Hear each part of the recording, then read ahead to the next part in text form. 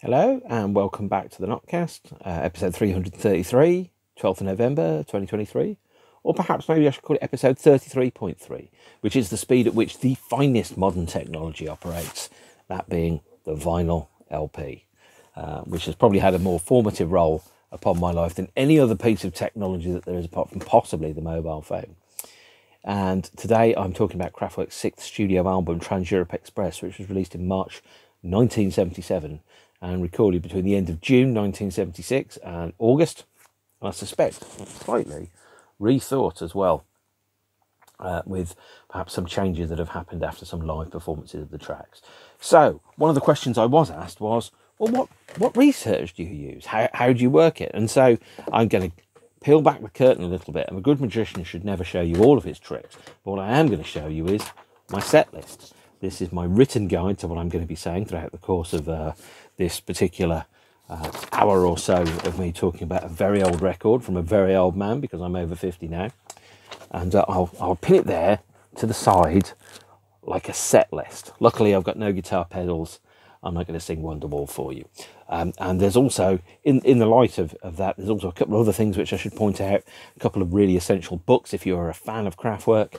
This is Karl Bartos's autobiography, The Sound of the Machine. Karl was a member of the band between 1975 and 1990, and so therefore performed on, let me just quickly check, Radioactivity, Trans Europe Express, Man Machine, Computer World, Electric Cafe, and The Mix. So uh, I think six really essential albums in the band's body of work.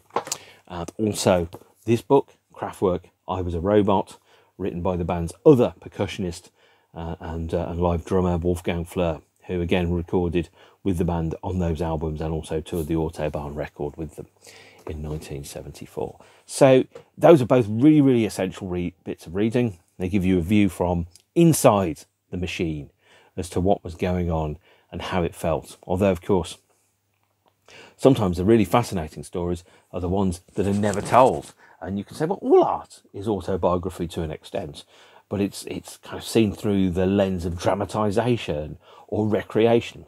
And you can think everything which a, a, band actually does is some form of autobiography. It just might be so obtuse you don't really understand it. Uh, I remember seeing an interview with um, the contentious, possibly controversial film director Bryan Singer talking about the X Men movies.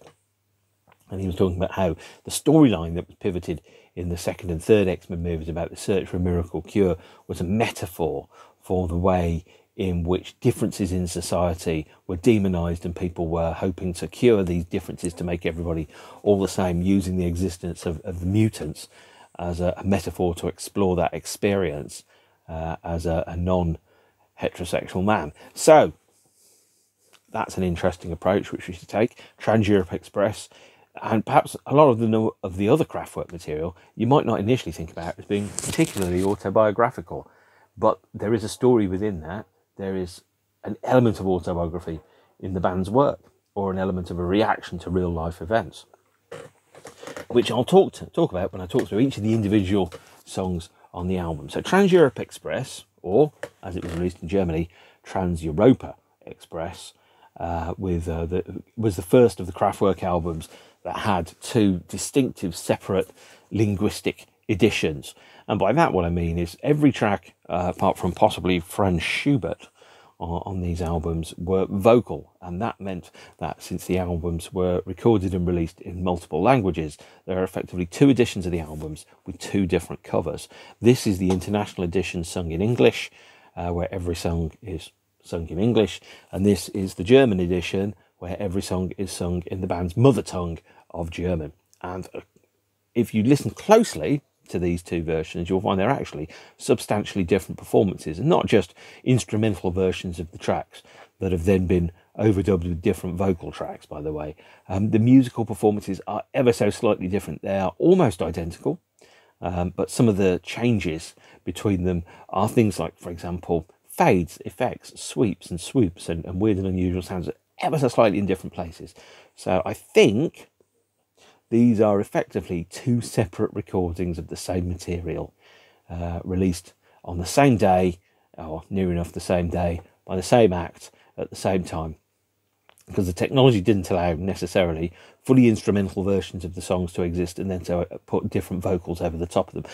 This difference is more tightly pronounced in the Computer World album, by the way, when you listen to the fades on songs like the Computer World title track itself and Home Computer.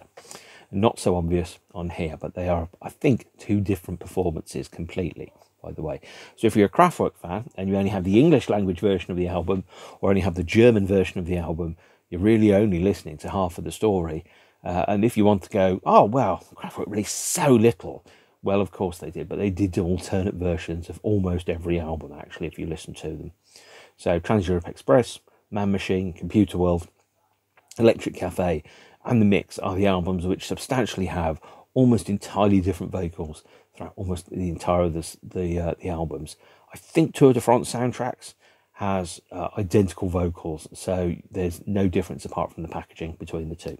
Nonetheless, we need to talk about the albums and start off with, with the prehistory of the record, uh, Trans Europe Express. This, by the way, is a Fame Records edition. Fame was a um, budget version of EMI uh, when records had ceased to chart and were then sold at reduced prices, uh, which is not something that they necessarily do these days. Um, a number of my Kraftwerk records are on Fame Records, which is effectively uh, just EMI in disguise. Um, a number of my Maiden albums actually are on Fame Records as well, and I don't quite know why, uh, but um, I'm not complaining because it made them affordable for me. And when you're a teenager on a budget, uh, £3.49 for an album instead of £6 is a big difference. It means that you can buy maybe two extra drinks when you go out on a Friday night and maybe meet a girl or a boy that can make your heart go boom, boom, boom. Who knows? So, Fame, there it is. And uh, that's why it features on here. It includes the hit single, Showroom Dummies.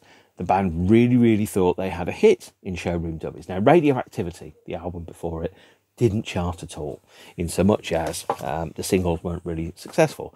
But they thought, no, Showroom Dummies is going to be a hit. And so we have a release here of Showroom Dummies from 1977.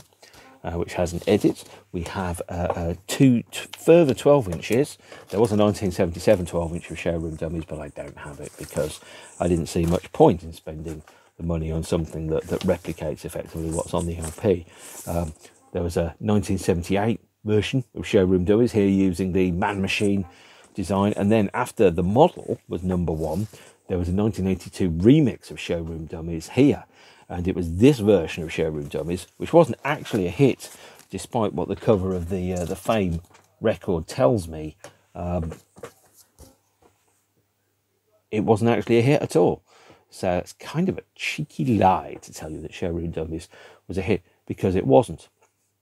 In fact, Trans Europe Express was relatively successful, and I mean relatively in absolute terms. It got to 119 in the in the American charts, 49 in the UK in 1982. I don't think it charted in 1977. Got to 32 in Germany, and uh, surprisingly number two in France, which was a pretty surprising, all things considered. Although uh, they couldn't translate that to uh, selling sufficient tickets to make a tour of France viable. Um, they did tour to Trans Europe Express, but that was before the album came out. So after the initial album sessions that took place from the end of June to middle of August 1976, a very productive six weeks, uh, the band went on the on the road again. Uh, starting in early September 76, running through to about the 11th of October, playing places like the Amsterdam Paradiso and the Camden Roundhouse. Uh, and if you've not been to the Amsterdam Paradiso, it's a gorgeous venue. The sound's not amazing, but it is a lovely venue. And on that tour, uh, the band played three songs from their upcoming LP uh, the Trans Europe Express title track, Europe Endless, and a version of Showroom Dummies. Now, they'd, they'd started ending shows in 1974 with a track that was effectively mostly improvised. So a number of the songs that they were playing in 1974 didn't have set start or end points. The length of a song could vary by the, the length of the, the feeling that the band had, much the same way that Pink Floyd or the Grateful Dead uh, improvised their ways. And so the songs themselves, the versions that existed on the records, are effectively just templates or prototypes or skeletons upon which the live performance was built. And so for the 1974 tour, the band started ending on can't even remember what the song was now, um, but it, it kind of mutated into a new track over the course of the tour. And by the end of it, the ending section of the last song that they ended their sets with became very, very similar to the version of Showroom Dummies that they performed on the 1981 tour as well. So they kind of took the ending from Showroom Dummies um, and then kind of didn't put it onto the record but played it live and instead took the beginning of the song and effectively built a new song out of the live improvisation. Then took the live improvisation parts out, so you have a new song completely that has no actual relation to what they'd been playing. Does that make sense? I have no idea. Maybe I didn't explain it correctly. Get in the car. There is no time to explain. And by the way, whenever anybody in a movie says there's no time to explain, what they mean is I haven't thought out of how to make this work. Trust in us, there's some explosions coming. Um, so the three songs from the album, Trans Europe Express, which also included parts of Abzug and Metal on Metal, Europe Endless and Showroom Dummies were played live on the September and October 1976 tour, six months before the album was released in March 1977. And by listening to the live versions, you can really hear the process of refining and editing, which turned the songs from being very good into being classics. I will overlay this by saying that I think Trans Europe Express is, is, in my opinion, the first truly classic Kraftwerk album. Autobahn and Radioactivity, very, very good. Very good. But there were elements of it where it felt that perhaps the band hadn't quite written enough material to sustain a full length LP. Sounds bitchy. It isn't. Um, Trans Europe Express is also, by the way, the favourite Kraftwerk LP of Wolfgang Flür. He, it's his favourite Kraftwerk album, and since he played on it, I kind of trust his judgment when he comes to talking about it. To me, Trans Europe Express is a timeless classic album that exists out of time in the way that only a, a true lasting record has. So if you listen to some records and you kind of go, that sounds very 1991, for example, that's absolutely great, but you are forever kind of going to be defined by that point in time that you have been uh, kind of pinned down to and you can't escape. You know, you look at the, some of the albums that have pictures of artists on the front. Those haircuts there are classic. If it was 1987 and they'd all been mullets and they were wearing, you know, multicoloured bikini shorts, for example, uh, you might then kind of go, yeah, I prefer my albums without covers or, or without pictures of the band on the cover. Totally agree with that, by the way, because then you end up kind of looking at some of the albums and going, that's 1987 or that's 1982, for example, or a, a, character in Pulp Fiction that's called You, Flock of Seagulls, doesn't actually have a name. Probably does have a name, but doesn't live very long, so it doesn't matter. With Trans Europe Express, it exists almost outside of history. It's a, a record that touches into classic themes that have remained static as part of the human experience for decades and decades, either side of the release of the record. And that's where you have a truly classic record that has a longevity. Some records, let's say Elvis's first, for example, The Clash is London Calling, great albums, but they are tied to a sense of time and space that cannot be replicated, and so therefore automatically become, whether they like it or not, history pieces. Other albums exist outside of history and remain speaking to us on a consistent basis ever since. And that's where Trans Europe Express is. It is an album that explores the themes of travel, intersections with, with that, um, themes of, of culture, nationality, technology, it's almost like a poem to civilization, from the opening notes of Europe Endless to the closing moments of Franz Schubert and Endless Endless. Uh, a song that is book a song that bookends in two various forms, the beginning and the end of the LP. Um, as Wolfgang Flür described it at the time, and this is part of I think why the album has such a, an eternal sense to it, is we were children born after World War II there was no music or culture of our own. Effectively, they were looking at almost a year zero. The cities were being rebuilt after 1945 and after the Second World War. History had been approached from a completely different, different angle to most people's approach to history. So, for example, if you're in the UK, um, you will often be taught that the Second World War was glorious because we defeated evil Hitler, and that um, other parts of history uh, Britain always paints itself as the Gandalf of history, where it's probably more like the Saruman in terms of how it's how it's treated other nations. Um, whereas for Germany, I think post World War II, there is an element of almost history being something to be ashamed of or something to be disowned, something to be put into a box and not really talked about. And I was thinking about this when I was reading Arnold Schwarzenegger's autobiography, uh, which is probably not a sentence you were expecting me to say. It wasn't a book I was expecting to read, but I did. Where talking about growing up in, in Austria and having you know, parents, uncles, for example, that were prominent in the uh, in the fascist regime in the 30s and 40s, um, and still kind of proud of that, but felt that they'd been cheated by history, and so therefore um, there was also, I think, some the laws were changed in Germany, so you couldn't necessarily display the swastika, and so therefore they were they were kind of going, well, actually, we have to hide these things that were once part of our cultural identity. And imagine if you were born in, let's say, 1948 in Germany, uh, your memories were of a nation that was being rebuilt, a nation that was uh, had a very complicated relationship to history, probably denying parts of its history ever exas- existed or being ashamed of it, and then kind of having to, to find a sense of cultural identity by listening to culture and history that came from outside of your own country. Uh, and this is where America, in particular, dominated the cultural hegemony, well, I think that's how it's pronounced. Um, by uh, you know monopolizing the airwaves and the cinema screens with Elvis Presley, uh, UK with the Beatles and James Bond. Um, the idea of homegrown culture uh, was something that, that wasn't particularly high profile at that point. And so there was a blank slate, there was no inherited culture that was native to the country which necessarily needed to be talked about. Um, and so, therefore, they were rebuilding a history, rebuilding a language. It was an imposition or reflection of what's called soft power um, over the rest of, of, of Europe by uh, uh, English-speaking nations, specifically more likely America, which still had um, you know, military bases in the UK and in Germany, and the UK's uh, the UK and the US's cultural leg- legacy kind of stood over um, the natural context of history. So Kraftwerk were a band which, to me at least, felt like they were completely outside of contemporary history. And for example, if I'd have grown up and suddenly what I thought was actually everything that my country had done before about the age of five was something which was uh, verboten or something which was forbidden and something which couldn't really be talked about with any sense of pride whatsoever have a really interesting approach to how you view the concept of nations and countries. And so, opening up the opening track, Europe Endless, there's this concept that actually Europe is actually a whole. It's united by rail and road, as seen, uh, and radio, as seen in Autobahn, Radioactivity, and Trans Europe Express.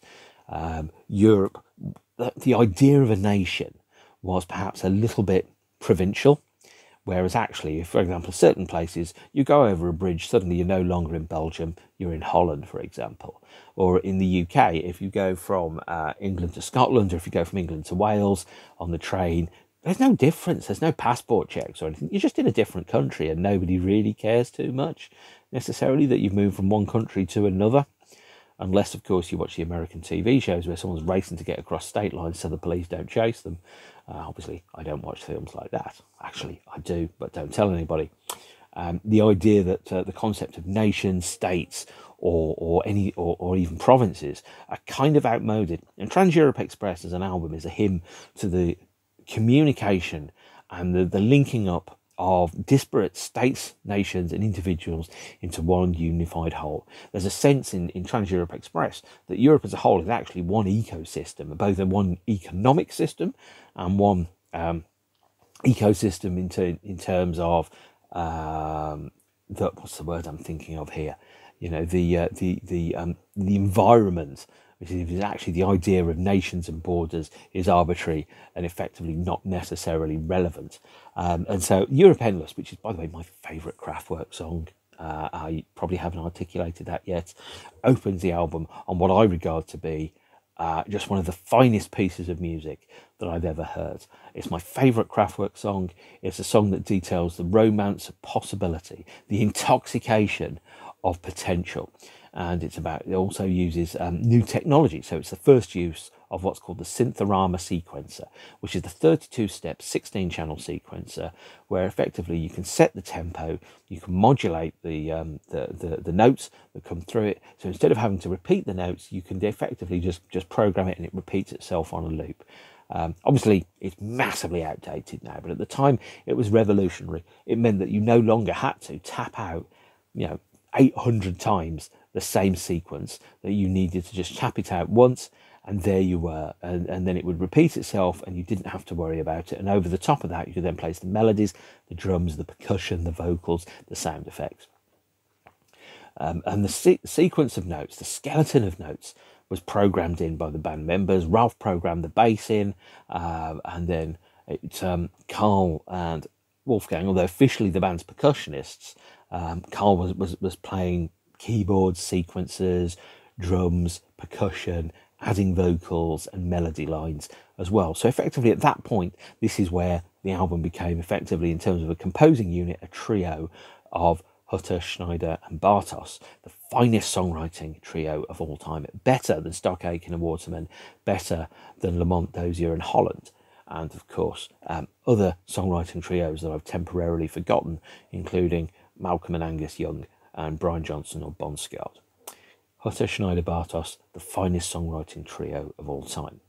And the title track, Euro, well, not the title track, but Europe Endless, uh, reminded Karl very much of a track by Strauss called The Gypsy Baron. And if you listen to The Gypsy Baron, and I have, you can hear the similarities in terms of the approach and the sound which you have for the song. Europe Endless is nine and a half minutes of absolute beauty. It is so glorious and so elegant. It should be on a wall in a museum. It, is one of the most beautiful pieces of music I've ever heard. Incidentally, it was never a single. In fact, I don't think it was played live after 1976 until 2012 when the band played the Museum of Modern Art in New York. It was, however, a 7 inch B side. And so, um, if I can find it very quickly, the B side to the original release of Showroom Dummies somewhat bizarrely, is an edit of Europe Endless. The idea of editing a track called Europe Endless is um, deeply ironic. And uh, Jock Mooney, who um, does some fantastic artwork, by the way, did point that out uh, the other day to me. And I was like, yes, of course, why didn't I see that? Um, but the, the, idea of an edit of Europe Endless is bizarre and, in fact, a little bit strange. On the single that was released from the album, the first single to be released from the album was Trans Europe Express, but in the UK, I think it was Showroom Dummies. But we'll get to that when we talk about Showroom Dummies.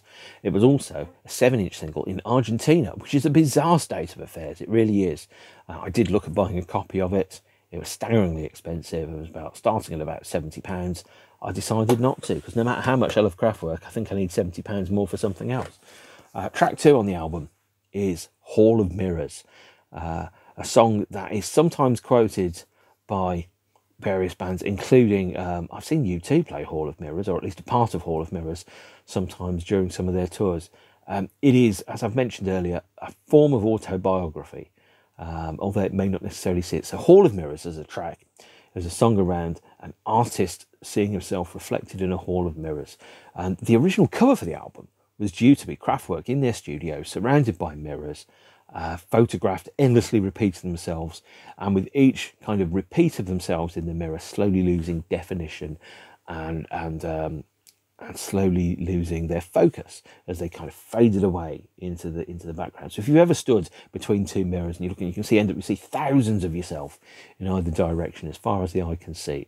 It was a visual trick that the band were hoping to do for the cover of Trans Europe Express, uh, but the original idea was scrapped after they saw the cover of a Fripp & Eno album called No Pussyfooting, which featured, well, uh, Fripp and Eno standing in a hall of mirrors uh, as they faded away into the distance and lost definition and focus. So they thought, no, the idea is we can't really copy that. Instead, what they did, and this is where uh, the cover art to Trans Europe Express, or the German edition, of course, Trans Europa Express, in either form, um, is, is quite sly, is you have a representation of what looks like a firm of solicitors or, or perhaps, uh, you know, a modern design team of architects as opposed to uh, a contemporary pop combo uh, making futuristic electronic music.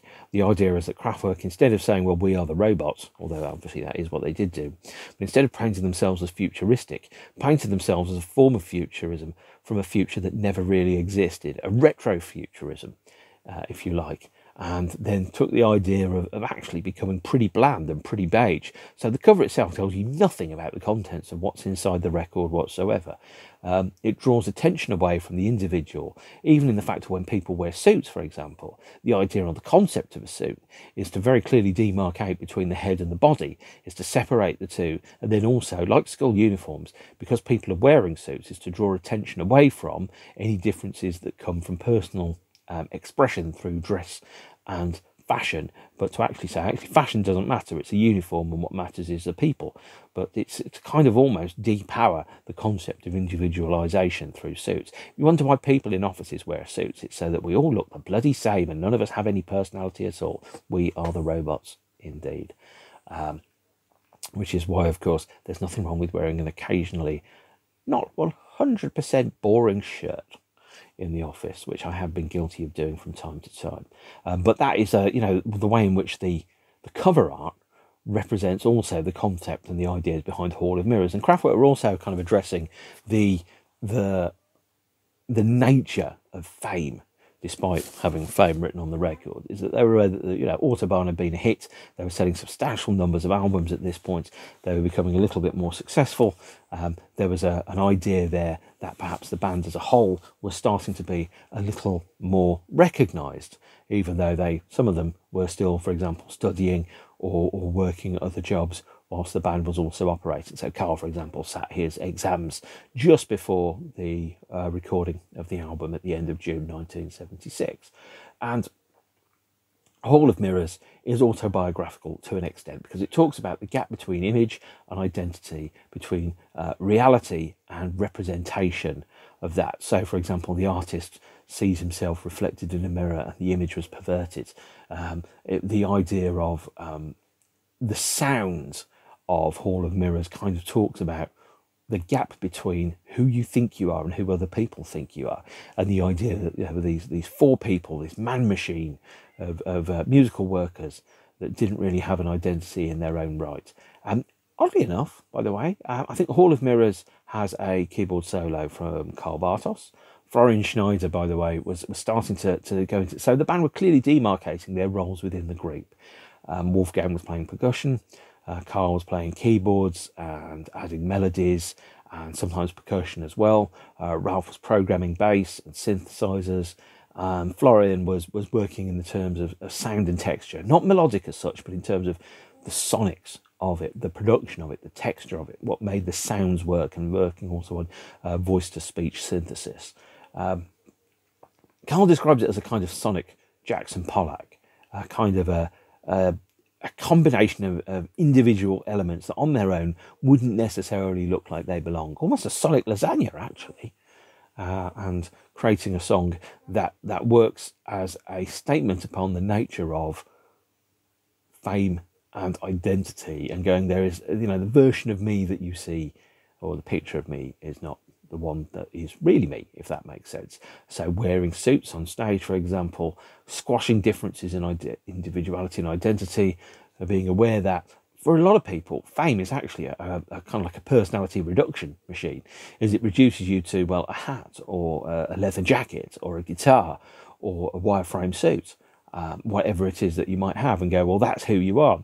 And bearing in mind that the audience that any band has, we can only carry so much space in our brains about well, what does this mean? what is this? You know, Kraftwerk, these four humorless German dudes in wireframe unit suits, and it doesn't really matter who, who any of them actually is. And judging the approach that Kraftwerk have to making announcements when people leave the group, that's probably very true, actually, because it doesn't really matter. Florian left, and nobody knew he'd left for about 18 months until they played a show. Nobody knew that Fritz had left until he didn't play a show, and he hasn't played a show with the group for six months now. Um, nobody really knew that Karl had left the band until um, the, the mix was released, and nobody, by the way, really realised that his, his contribution to the mix album was so substantial. Uh, although he apparently all his programming and stuff is, was retained on the LP. If you look at the credits to the mix album, uh, Karl Bartos certainly wasn't mentioned as a performer or producer in the group at the time on its initial release, possibly not afterwards. So that's Hall of Mirrors for you, and the idea that the, the concept of identity, the public eye versus the private eye, has become um, disconnected, and there isn't necessarily a relationship between the two. The next thing that we have, track three, showroom dummies. Now, I've, I've mentioned showroom dummies a couple of times. Uh, this is where I get to show off a couple of records because, hey, why not? This is what this is all about. Showroom Dummies was a single from the album in the UK. Here's the, uh, the 7 inch of it, which you've seen earlier, uh, which features an edited version of Showroom Dummies. Um, there was a 12 inch release of Showroom Dummies, which came in a picture sleeve in 1977, but it was backed with a full LP mix of Europe Endless. In 1978, Showroom Dummies got another release, this time backed with Europe Endless and Space Lab, uh, but using the um, the man machine era uh, designs there. Uh, so Europe Endless was uh, side side two on there, and um, Showroom Dummies and Space Lab there. So it was different from the 1977 release. And as I said, after the model became a number one in 1982, a third release of Showroom Dummies. Here's the 12 inch, and here is the 7 inch version of Showroom Dummies. Uh, this featured a remix of Showroom Dummies with additional percussion, and it's backed with on this a 7 inch mix of numbers, and on that a 7 inch mix of numbers, and a previous not quite successful hit single called Pocket Calculator. Um, quite why they didn't use the uh, French or German language versions as B sides, I don't quite know. It seemed to me a little bit lazy actually. Uh, but uh, but there you are. So Showroom Dummies coming in at a staggering two minutes thirty eight seconds on the twelve inch, um, which is to me it feels not long enough actually, and doesn't really reflect my understanding of how long Showroom Dummies is. When I listen to Showroom Dummies, it feels longer than two minutes thirty eight seconds. Um, Showroom Dummies takes its name from the from a, from a line uh, that described the band's static live performances. Uh, that said that effectively um, the band were, were about as animated as showroom dummies on stage, and they, they, they, could have been showroom dummies, which obviously was then followed up with the the We Are the Robots live performances in future, which was actually you know robotic showroom dummies. Um, it was also a sly comment upon the band's visual representation and identity. Um, so the idea of these four featureless, static people on stage not doing very much. It's, I think, a great song. It's very funny. It's very dark. Uh, the UK lyrics have have lines like "We're standing here exposing ourselves." Uh, and suddenly we walk and we walk through the glass and there's a you know the sound of breaking glass and you kind of go so it's it's got a dark sense of humour very sly very dry which is possibly why I think um, it, it was Kraftwerk resonated a lot with the British audiences because you think about some of the, the sly, dark British humour that we have, effectively laughing in the face of danger and tragedy. It's that kind of sense of humour that we've got. Kraftwerk, uh, but also there's a very cheeky little nod to the Ramones uh, with the opening words of Showroom Dummies being Ein, zwei, drei, vier, one, two, three, four. Uh, you know, Florian was a punk rocker, etc. That type of thing. Uh, because the Ramones were quite popular in 1977 uh, with, with tracks like Blitzkrieg Bop and so on. So Kraftwerk weren't operating in isolation, they were making a, a sly comment there upon the nature of punk, which perhaps flew over quite a few heads, including mine, until one day I listened to it and thought, are they just taking the piss out of the Ramones? Is that a tribute? Yeah, it's a tribute. It's not the greatest song in the world, it's a tribute. And Showroom Dummies is one of the finest of the Kraftwerk tracks that there is. Luckily, I've seen them play it many times, and every time it's a banger. Although I think banger is probably overstating uh, what what it is. When I saw Kraftwerk for the first time in 1992, they it was it was like a um, an, a party or a euphoric kind of riding the wave of electronica. Uh, now, when I've seen Kraftwerk, the last time I saw them was uh, six years ago, it felt like I was watching a museum piece or a, a classical recital as opposed to a, a classic band playing an amazing gig. So, flip the LP over, side two, Trans Europe Express, the title track itself, which was released as a seven-inch single in uh, in some countries. Here is uh, the I think this is the French one on Pathé Marconi. What a gorgeous cover that is, isn't it? What an absolutely gorgeous cover that Trans Europe Express seven-inch single is, um, and that that features uh, one of the TGVs. Well, they're now called TGVs. The Trans Europe Express doesn't exist. And there's the seven inch in the vacuum in, in the molded sleeve there from um, Capitol, uh, saying Trans Europe Express four minutes. Backed with, I'm guessing, Franz Schubert. Let's quickly check. Yes, it is. Franz Schubert, which has, uh, again, an exclusive mix of Franz Schubert there uh, on, on, on the B side. Um, and the 7 inch mixes, by the way, of the B sides of uh, Trans Europe Express and Europe Endless are just edits of the LP mixes. You're not missing anything. It is literally just let's have a fade before a part of it comes in. So there's Trans Europe Express as a 7 inch. And again, this was Trans Europe Express was played live in 1976. It has a different melody line in 1976, although the song is substantially the same in the live performance in 1976. Like Europe Endless, the song has a different melody. So the standard one, two, three, four, five, six, you know, seven or eight notes that you have that make up the Trans Europe Express, Express motif. They're played differently and they're played in a different modulation and a different speed and with a different attack on the live version. So you can listen to it and kind of go, almost. So the original melody for Trans Europe Express, which presumably was the one that they recorded when they recorded the album in uh, June to August 1976, was then changed after live performances to reflect the cleaner, slicker, more, uh, more flatter, more elegant line which you'll have on Trans Europe Express now. If there was a 12 inch Trans Europe Express in 1977, I've not heard of it, not to say that it doesn't exist, uh, but I've not heard of it. But there was a 7 inch which apparently went to, um, well, did very well in the charts in France. And Trans Europe Express as a title track is, in my opinion, uh, one of Kraftwerk's most perfect songs. So it features um, a number of, of key elements which will repeat themselves endlessly throughout the rest of the Kraftwerk body of work. First and foremost, I should point out um, the single, I think, got to number 67 in the US charts. I don't know where else it got to in the charts. Uh, apparently, it was inspired by a track called Pacific 231 um, by a name that I can't read at the moment.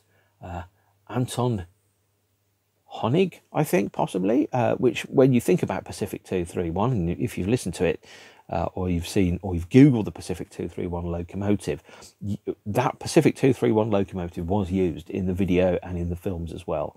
So there's a very clear kind of lineage between the music of the past and and the and the present.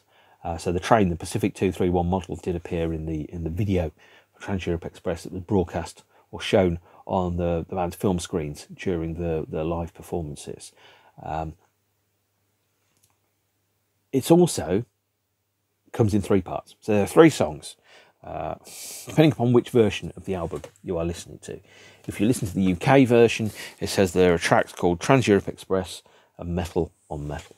If you listen to the German versions, uh, we have Trans Europa Express, Metal auf Metal, and Abzug. Abzug, by the way, translates out of German to departure. And the music is exactly the same. The track splits are different. So if you have the UK version, you don't you don't have an extra track on the German version of Trans Europe Express. You just have a different banding point that tells you that Abzug starts somewhere slightly differently in the big scheme of things. Don't be fooled by the hype. It's not a new song that's only on the German version. It's just a different name for the same piece of music that's also part of Metal on Metal. And Metal on Metal is, I think, really, really influential on industrial music. It's the use of found sound and musique concrète, as you'll have heard also from radioactivity, and Autobahn, the sound of, for example, revving engines, gear sticks, radio tuning. Uh, metal on Metal effectively takes its name from the clang of railway buffers as the uh, the two carriages bang against each other.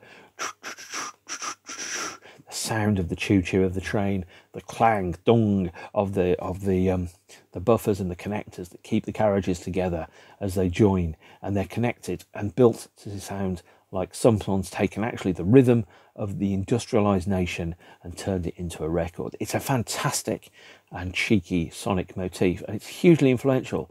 Uh, if you later listen to acts like Front 242, Nitzer Ebb, or Nine Inch Nails uh, and, and Depeche Mode, actually, for the Construction Time Again album, you'll hear a similar use of clanging pieces of metal to represent the industrialized world, factories, civilization, engines, industry, and the machineries of joy. Um, hugely influential. Also, by the way, um, the, the simple uh, motifs that you will have musically. Can, you can listen to them, the very simple melodic, straightforward notes that you have, very reminiscent of uh, both the Stooges and, as previously mentioned, the Ramones, uh, both of whom are one of Ralf's favourite bands. Not that you would necessarily know by listening to this. You really, really wouldn't. But it's all there. Effectively, the sound of the epic um, track, Trans Europe Express, is the rhythm of reality. It's the heartbeat of the city. It represents the cling and the clang uh, of, of modern technology and machinery as it operates. The power station, Kraftwerk itself, the sound of technology as it transforms the modern life. Um, it's, it's just a gorgeous, brilliant song that is played live to this day and I never ever doubt its power. Every time I've seen Kraftwerk, they played Trans Europe Express, and every time I've seen them play Trans Europe Express, I have been overjoyed with how brilliant the sound is. Uh, it's just absolutely wonderful. So,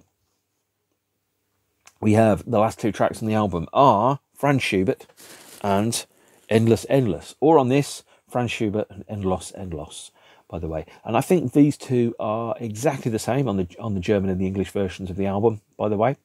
Should point that out. So uh, you're not missing anything there.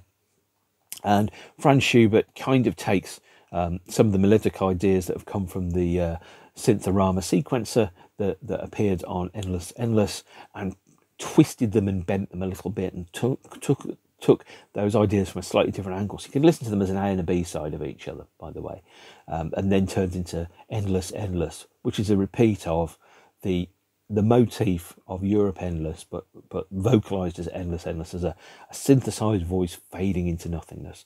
The idea across the whole of the album is the idea of joining together travel communication and reality the idea of perception of identity, the notion of identity, the concept of, of nations and provinces as being somewhat meaningless when telescoped together by technology and the technology of, of trains and travel, of um, the idea of nations itself. With the track Europe Endless is kind of like the most anti-Brexit song ever, I think, probably, because what it effectively says is that Europe is the identity. Germany, France, Holland, Belgium, Sweden, the UK. They're all parts of the same thing, the same part of the world. And it's almost like a, a, a, not a hymn necessarily, but a hopeful kind of message to the world that the concept of nations is outdated and the concept of division is outdated, is that we could be unified together in one Trans Europe Express, one single kind of transport system, uh, that the idea of, of uh, and this is addressed in um, Hall of Mirrors and Showroom Dummies, the gap between how people perceive you to be and who you really are, and the nation of identity, travel, and communication between the two is that we as humans are all effectively kind of the same, and uh, we all we all kind of need to work together as one unified entity to create the best outcomes for humanity as a whole. Also, Trans Europe Express has a, a very um, interesting lyric about uh, going to Dusseldorf City to meet Iggy Pop and David Bowie. Uh, Iggy Pop and David Bowie had moved to Berlin in 1977. Bowie was a huge fan of Kraftwerk. He played their material before he went on stage on the 1978 tour um, and was vocal in his love of the group. And if you listen to the albums Low, Heroes, parts of Station to Station and its use of found sound, especially on the title track, um, you can very clearly, clearly see and hear the Kraftwerk influence upon the uh, the Berlin trilogy. There is debate about where the Berlin trilogy starts and ends, but we're not getting into that conversation because that's actually about 200 episodes in the past. Trans Europe Express is a, a classic LP that I have never tired of for one second throughout the whole of my life, uh, effectively joining together the idea of nations, identity, reality, communication. And the best albums ever will tell you what is it like to be alive, both at the time that the record came out and in the years afterwards. And the strength of the message in Trans Europe Express has not been diluted one inch by anything that's happened ever since its release. It's a timeless album that exists outside of things like politics and history, but in fact talking on a very basic human level to the existence of us as people. You know, nations, identities, they're all kind of in the mix there, and they're all things that we need to take into account.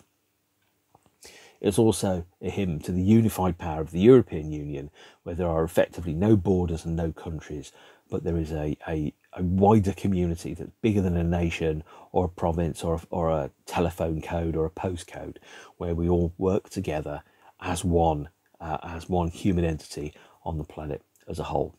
Right, that sounds like I've um, told you for 45 minutes about how amazing this LP is. There are a couple of other things which I was going to mention, which I haven't quite mentioned yet, which I'm going to.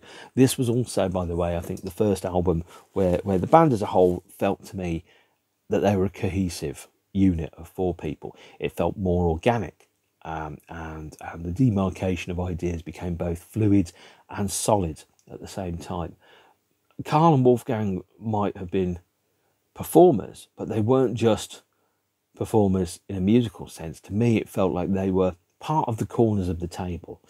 Uh, they were uh, theorists and they were writers and they were improvising the songs live and building upon the songs live in live performance. So even though the writing credits don't necessarily always reflect who is on the record, the record could only have existed and been as as uh, powerful and as fully realised as it was through the fact that some of those songs uh, about half of the songs were played live before they were released.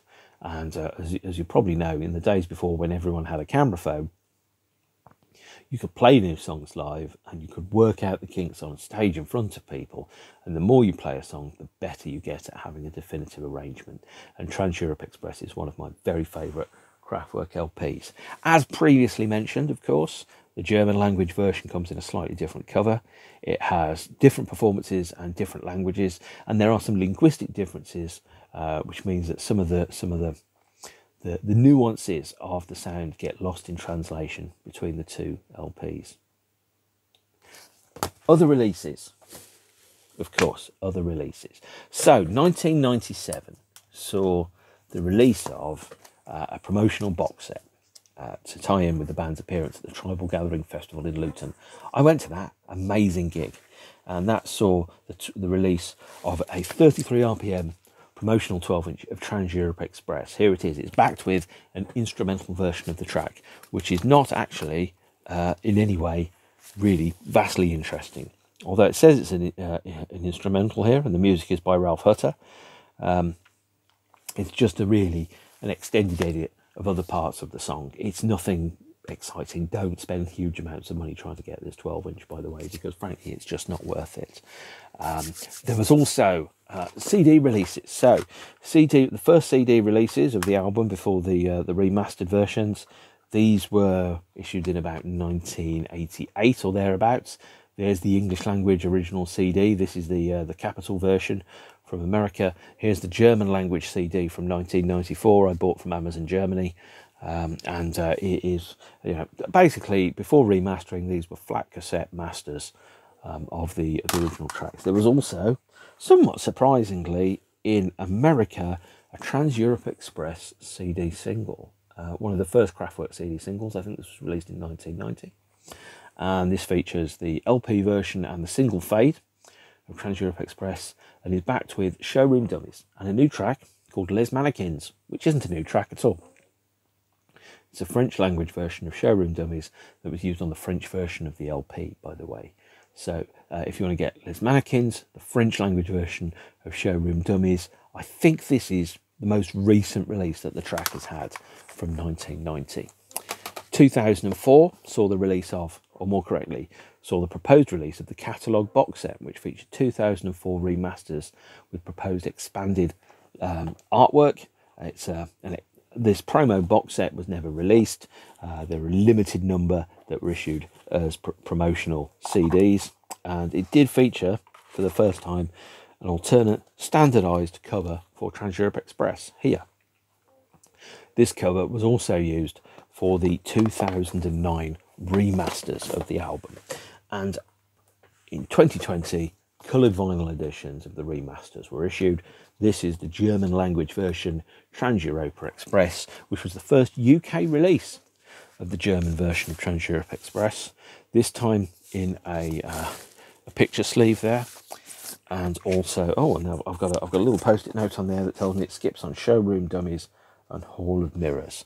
Um, and that is a, a uh, because the band had very very expensive record players and therefore uh, played fine on their very very expensive record players and not on my not quite very expensive record player. So there we have it. And the back featured photographs of the four mannequins or showroom dummies that the band were using as part of their visual representations. The 2009 remasters and the 2020 versions as well also featured uh, expanded editions of the artwork so this is artwork because the artwork wasn't standardized across the world. As you've seen, the covers for the German and the English versions are different. The cover for the singles are different. Effectively, this created one world standardized version of the artwork. So that's some uh, illustrations, which I think were by Florian. Photographs of the band members at Dusseldorf train station. Also, uh, photographs of the uh, showroom dummies taken from the the uh, promotional video, which was also shown on the screens uh, photographs from the, the, sessions which were used to create the album artwork. And of course, there's a different photograph on the German and the UK releases of the album, alongside photographs of the showroom dummies themselves and some extra material and uh, typographical information. It effectively is, and this is quite weird actually, because I think this might be, uh, you know, Ralf and Florian here alongside the four showroom dummies there. Uh, this special edition of vinyl, if you are going to get a vinyl version of the albums, these are really, really good versions to get. Also, originals from the time are becoming really quite expensive indeed. Um, the last release that we had for Trans Europe Express was the 2017 3D The Catalogue box set, which I mention every episode, uh, featuring reimagined, rethought, remixed, re recorded, rearranged versions of each one of the, the band's core eight studio albums. So, the official Kraftwerk discography of their eight albums running from Autobahn through to Tour de France, was re-recorded uh, by the new lineup of the group, Ralf Hutter, Fritz Hilpert, Henning Schmitz and Falk Grieffenhagen. Uh, the Trans-Europe Express disc here is quite short, it's about half an hour, um, but there is no other band that has ever done anything quite as glorious as the 3D catalogue, representing their body of work in uh, modern, renovated fashion. And uh, I, I, strongly, strongly recommend this box set, by the way. If you're a fan of the band and you kind of go, well, what does the band sound like? Now, 3D, the catalogue, is exactly and precisely the release that you need to experience. So, in conclusion, Trans Europe Express is one of my favourite albums of all time. I absolutely love it to bits. I can say nothing negative about it at all. It is a glorious, fully realised uh, presentation of a concept around um, nationalism, identity, travel, technology that explores the, the, the themes of what is it like to be stepping into the future. And 1977, when this came out, the year that Star Wars was released, the year that Close Encounters of the Third Kind and Nevermind the Bollocks came out, the year where it felt like the world was starting to step very clearly and definitively into the last quarter of the 20th century and opening its eyes. So, stepping out of the previous 25 years, which would have started, let's say, 1950, after the Second World War, with a period of consolidation and rebuilding into the race towards the future, which became the last 25 years of the 20th century. It's a brilliant album. I love it to bits, and I strongly recommend that you listen to it. Uh, and if you don't, that's great too. There's lots of great records in the world. None of them have been made by Genesis, um, but there are lots of great records in the world. And if you don't like Trans Europe Express, I'm sure you can find something else that you like somewhere, either on your shelves or the ones behind me. So, uh, stay beautiful, take care of yourselves and each other, and I will see you all soon. Thanks for watching. Bye.